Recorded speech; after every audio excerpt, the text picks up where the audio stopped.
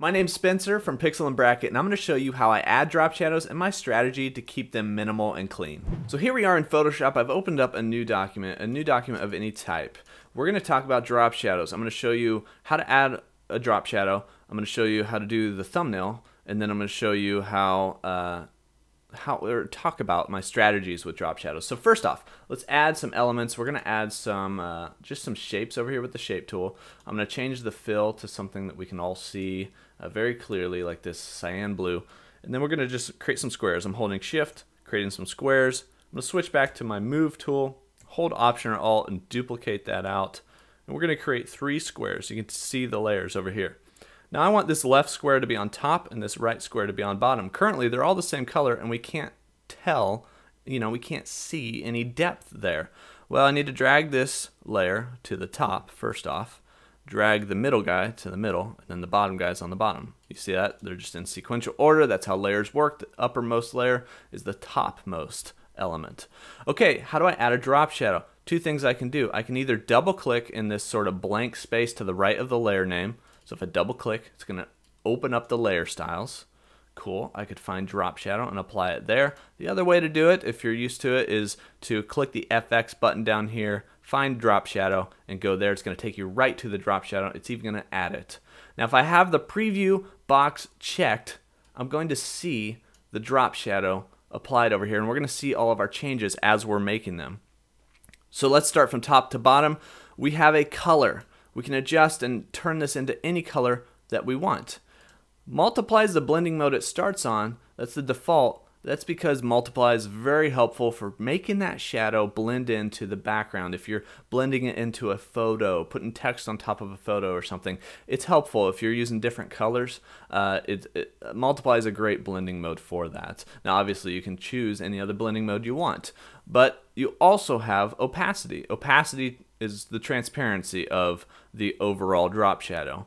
Uh, this is one of those things that you kind of tweak a little bit and then you come back to it and maybe adjust it some more so it's not too overpowering. Obviously 100% most of the time is a little too much. We're going to bring this down some. Actually, we'll bring it up so you guys can see the next changes. So global light is is uh, is the global angle of your entire document. So as long as this is checked, it'll use the same angle for any other element that you have uh, global light checked in a drop shadow adjustment. So I can adjust the global angle and any other object that has that's going to adjust at the same time. Uh, we can also uncheck that if you want to change the angle. Most of the time your light source is coming from one direction, so you use that global light button. It's kind of a default thing. Uh, the distance changes the distance our shadow is from our object. The spread, I like to think of it a little bit like the power of it or the contrast of it.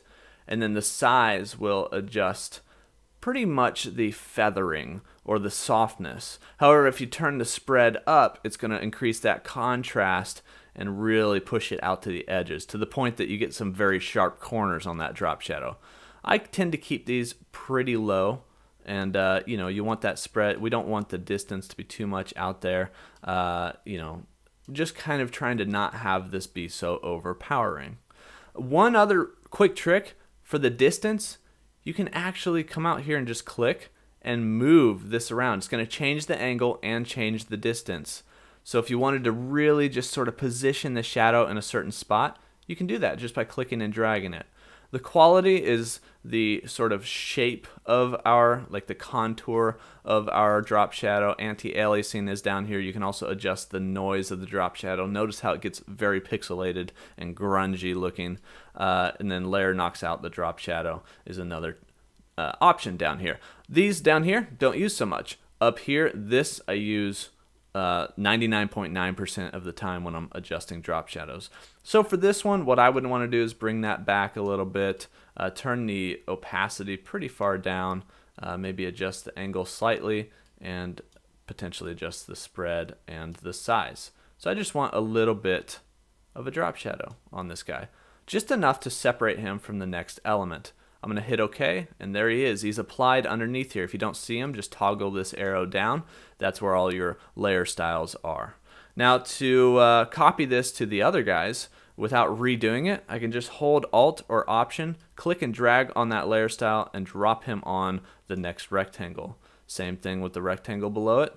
Can keep holding that button and just drop it on each one. There we go. We have the drop shadow applied to each of these. Now if you came here to uh, figure out how to do the thumbnail image, let me show you how to do that because drop shadows, I'm going to shift click this, hit the delete key. Drop shadows can be applied on any type of layer. So I could even grab a text layer, come out here and type something like the word drop shadow. It's in white. I selected white. I'm going to hit OK on that. And notice the background's white. We can't see this word one bit. Well, drop shadows to the rescue. Command or Control T. I'm going to scale this up to this size, hit return. There we go. So drop shadows sitting in there. We're going to double click on this. That's my favorite way to get to the layer styles. I'm going to add a drop shadow and there it is. Boom. We have our drop shadow applied. It has all the elements from the la or all the adjustments from the last set of properties that we adjusted. So I'm going to keep those, hit OK, and there we go. That is how you can even bring elements that are completely the same color as the background. You can pop them out. Uh, drop shadows are they're very very awesome to use. They're great elements in your design.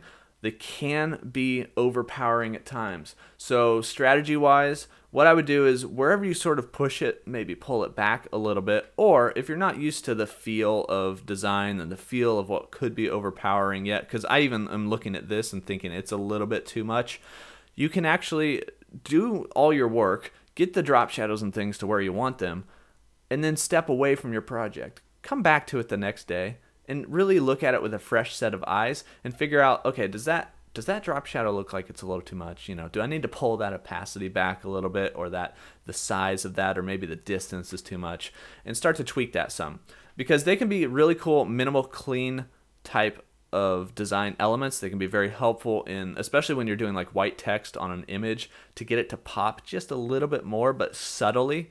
You want this thing to be subtle. You want it to serve a purpose, but not be a really overpowering element itself.